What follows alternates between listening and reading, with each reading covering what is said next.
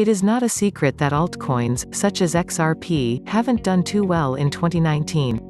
While Bitcoin BTC is up over 90%, starting the year in the $3,000s and now trading at $7,200, a number of leading cryptocurrencies have actually posted losses on the year.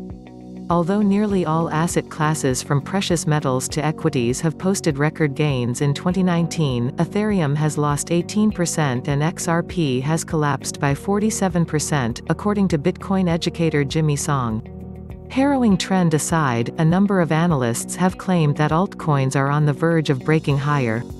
Dave the Wave, a prominent technical analyst that months ago called the decline to the $6,000s in the price of Bitcoin, recently posted the below chart to Twitter, in which he shows that the XRP USD chart is showing signs of bottoming.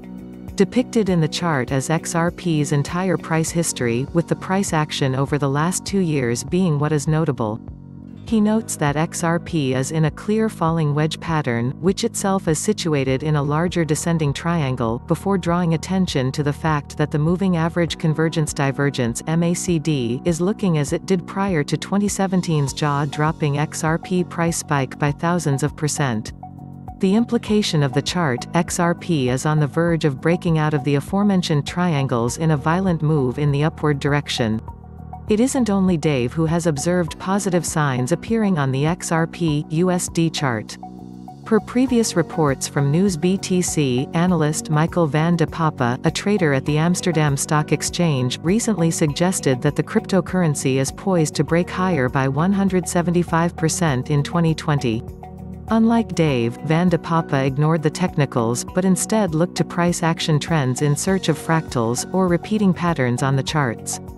He found that XRP's price action over the past few months is eerily reminiscent of a bottoming pattern put in by the cryptocurrency in late 2015 and early 2016, which was followed by a strong 125% bounce to pre-crash levels.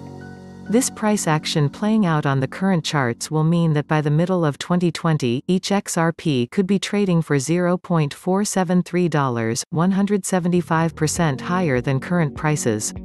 Dave the Wave's observation that XRP is showing signs of bottoming comes amid a flurry of positive developments for Ripple Labs, the San Francisco-based fintech company closely affiliated with the cryptocurrency.